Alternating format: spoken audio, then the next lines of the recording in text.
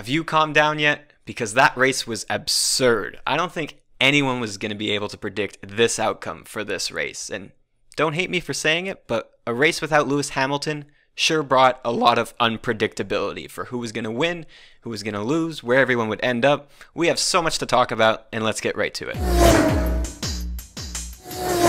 Hey everyone, welcome back to a brand new race review where we put all the races in the 2020 season calendar up against each other to see which one's the worst and which one's the best. Here are the standings so far. Today we are reviewing the Sakhir Grand Prix. We've got a lot to cover. Our biggest anticipation for this race, of course, is George Russell, who's filling in the shoes of Lewis Hamilton, who is out this week. And looking right off at the start of this race, what a getaway. When he qualified second, I was a little bit worried because with the last race, it seemed like that was the worst starting position. Typically, having seen P1 and P3 jump ahead into that racing line, but that was definitely not the case today, as George just pretty much ran away with it after the first turn. Everyone starts to file into a line going towards turn four. You see Kimi spinning off in the background. No incidents yet until we get to turn four. You have Max, Perez, and Leclerc going three wide into the turn. Perez kind of closes off the corner, but he was ahead and he had the racing line. Leclerc tries to jump in on the inside, but ends up colliding with Perez's back tire, sends Checo spinning. Max, in order to avoid them, tries to go around, but finds himself in the gravel, and that is the end of both Max and Charles's race. Of course, this sent Sergio back to the back of the grid. So, of course, the safety car comes out after this first lap incident. Eight laps pass by and we're ready to get going. George has a great restart and gets a good gap on Bottas. Meanwhile, Bottas is losing time by kind of getting in a little bit of a scuffle with Sainz. Eventually, Sainz actually pulls off an overtake, but then goes wide, runs off the track a little bit, and has to give the spot back to Valtteri. We saw a lot of wheel to wheel racing happening,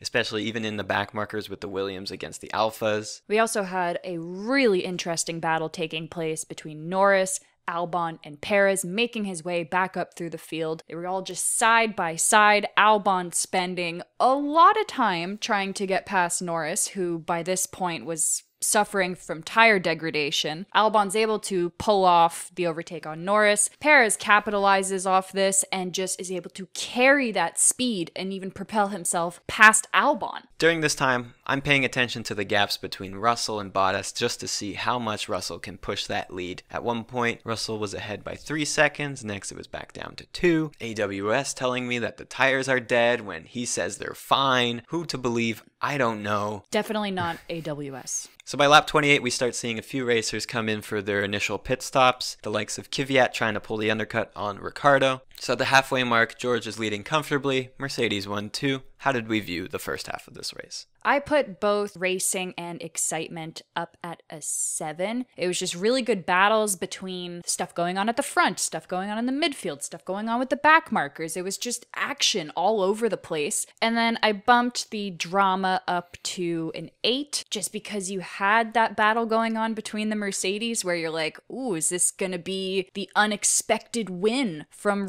Is he going to really prove what he's capable of today? And then, of course, the incident between the three drivers at turn four. I didn't expect it to have such a catastrophic outcome for all three of them so early on in the race. So that puts my overall score for the first half at roughly around a 7.5. Much similar to you, I did view the most dramatic moment of the first half being the first lap incident. You had three really top contender teams that were looking to put pressure on the Mercedes, two of which are out, Max and Leclerc, after a great qualifying from Leclerc. It opened the door for someone new to be on this podium. Scoring my drama a 6. Looking towards my excitement, aside from the opening laps, I did only score this a 6 because afterwards, once I finally got comfortable, I was more or less just tense about the gap between Russell and Bottas. And then in terms of the driving, it's on par with you at a 7 very content with what I was seeing. Scoring my first half at 6.3, I'm going to round that up to a 6.5. This brings us into the second half where we are immediately watching a battle go down between Ocon and Stroll. So Stroll is fresh on new tires, but they haven't quite warmed up to temperature yet.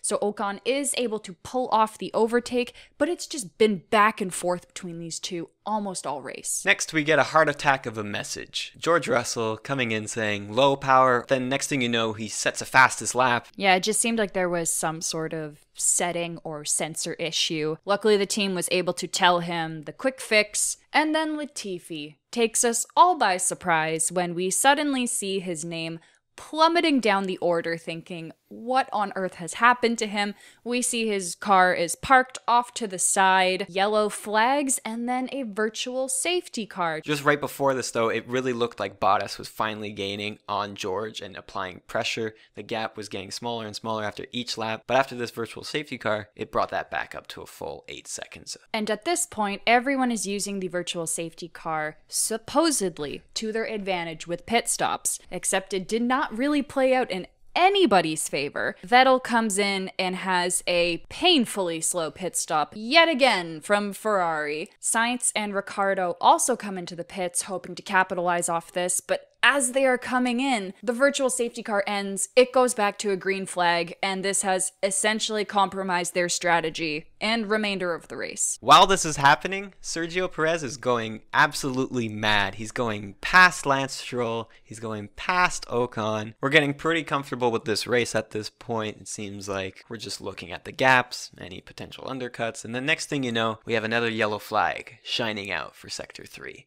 we get word that Jack is coming into the pit without a front wing because he hit the wall. Ran a little bit wide, got lost in some dirt, and is actually really lucky that he only lost his front wing and wasn't out of this race entirely because he came super close to hitting it straight on. Yeah, his front wing ended up onto the track. Virtual safety car comes out, and Mercedes tried to jump on this opportunity and bring in both of their cars. Mercedes pit lane team, not necessarily ready for George. He ends up having a whole five second pit stop, which we thought was pretty bad. Valtteri is next in line for his pit stop change. Fortunately, the both Mercedes have quite a substantial lead, although Valtteri's pit stop is a lot more chaotic. At one point, they realize that they're putting on the wrong tires onto his car, and in fact, end up just putting back on the exact same tires he came in with. His brakes were on fire at one point. Pretty much now we're thinking, oh, okay, so Valtteri's no longer a worry for George Russell to take this win. And just when we thought that George was in the clear, he has to come back into the pits because Mercedes have realized that they put Valtteri's tires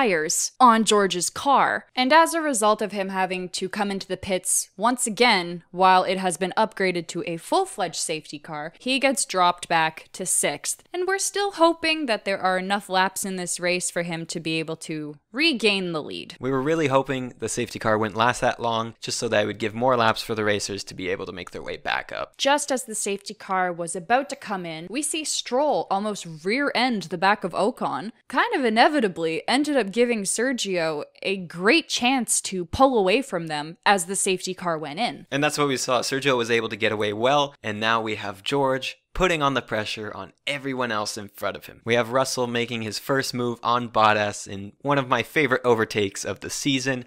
George! They go wheel to wheel. He makes the move stick. He's looking really strong. He's now passing Stroll, Ocon. He's back into second place. We then get a radio message from the Mercedes garage saying, back left puncture. And we were first confused saying, oh, that must be Bottas because he's the one who's falling back so slow and not Russell. But it was, in fact, Russell. Next thing you know, we see him drifting off into the pits once again to get a new fresh set of soft tires on. And now he's just left scrapping for the last points that he can salvage. I couldn't believe after two incidents happening to him, could it get any worse? Was he actually going to end up not getting any points still, even in a Mercedes? He is somewhat able to recover, moving his way up into a measly ninth, which was very much a disappointment to, I think, all fans. If he was in a Williams, this would have been a fantastic day for us. Although, with George's race going down the drain, it brought light to Sergio Perez, who was taking away the victory here. From being knocked down to last on the opening lap to now being in first place on the final few laps. Albeit it did come at the misfortune of some other drivers, but there's no denying Perez was brilliant. It was heartbreaking for Russell, but I was truly happy for Sergio, and especially after hearing his radio message. my heart. It was more of an emotional reaction because it's been so long and he's been fighting. It's been a really tough year for him. Of course, we can't forget about Ocon putting that Renault into second place, earning them their third podium of the season. And then Stroll getting on that podium, maybe finally putting his string of bad luck to an end, and also giving Racing Point their first ever double podium. So important in this battle for the Constructors' Championship. So, a very unconventional podium. No one could have predicted this. Cass, how did we score the second half? In terms of my second half scores, these were potentially some of the highest scores that I have given out all season. I gave my excitement a 9. The only reason it wasn't a perfect 10 was because of the heartbreak that we all felt for Russell, but I was gauging this more off of my overall emotions that I was going through in this second half of the race. And as for the racing and drama, I gave both of them a perfect 10 because the level of racing was just immaculate just because everything was so unpredictable, both in terms of the overtaking that was happening, grid positions, where people were being bold enough to pull off some superb moves. You had DNFs, you had crashes, you had slow punctures. This race really gave us everything in the second half, and also one of the most unconventional podiums that we've had all season. So this brings my overall score for the second half at a 9.5. On my side, I gave my excitement in eight. I was really invested in this. I was really content in seeing that we had the race leader having to fight his way back up to that first place position, and it really looked like George was going to be able to do it. A lot of dramatic moments came out of this, and that's what made me score the drama a nine. Every 10 or so laps, there was something new being thrown at us, where you have a virtual safety car coming out, Jack losing his front wing, terrible double stack. The racing, I scored it a 10. Really impressed with that. Checo's driving, gave him the win he deserved. So this scored my total second half a 9. So the official score for the Sakhir Grand Prix is an 8.125. We're going to round that up to an 8.25 for just such an unpredictable race today. Here are the standings now. If you have enjoyed this video, don't forget to leave it a like. Let us know in the comments if you agree or disagree with our scoring. How did you view this race? We have one race left for the 2020 season in Abu Dhabi. Will it be as good as this one? Who knows? You'll have to check out when we're back here next time for another race review. As per usual, make sure to follow us on social media at CCF1 channel. Don't forget to subscribe. We appreciate all the new subscribers and we'll catch you next time. Bye.